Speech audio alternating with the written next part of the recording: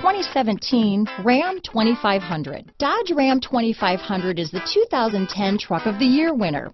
It's the hardest working truck in tow business.